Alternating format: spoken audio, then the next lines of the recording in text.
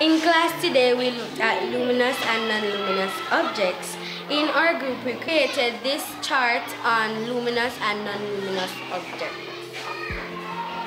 It's luminous because it gives off its own light.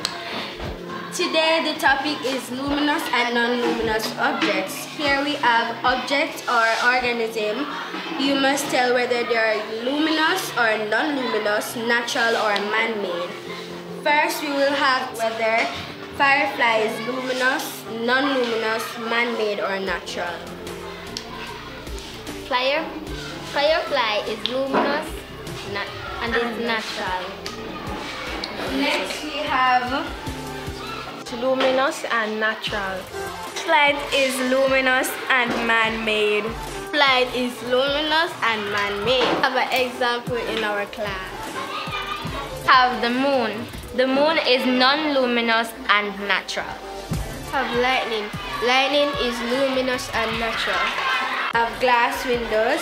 It is non-luminous and also man-made. One is fire.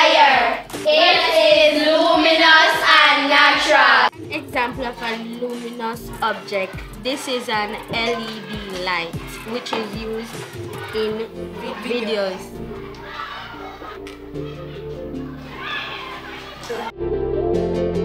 Luminous and man-made. It's a work light.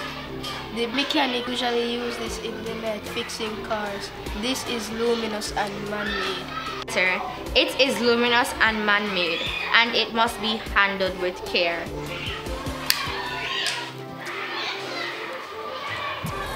Light bulb. It is luminous and man-made. And when lit, it is luminous and man-made.